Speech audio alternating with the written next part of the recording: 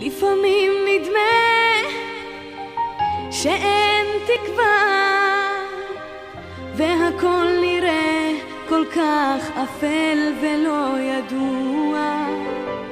הפרחים עוד לא פרחו בגן ובשדה ובערב רק מכה הרוח. אז בואו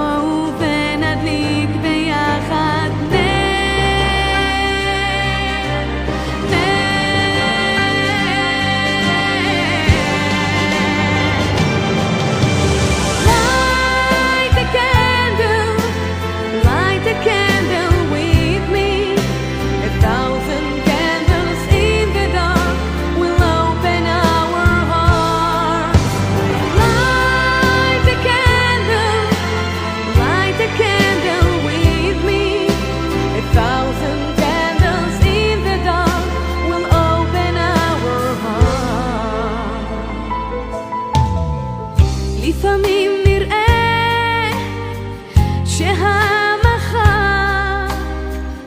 לא יביא פה נחמה לבכי ולצד